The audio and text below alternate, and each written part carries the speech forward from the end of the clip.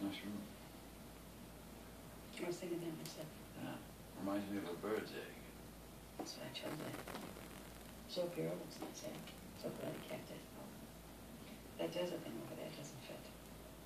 Oh, no.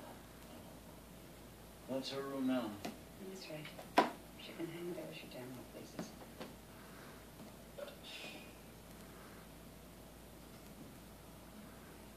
I can tell you when I'm sure you the whole story, but I think Chris and Suzanne will be kicking us all out pretty soon.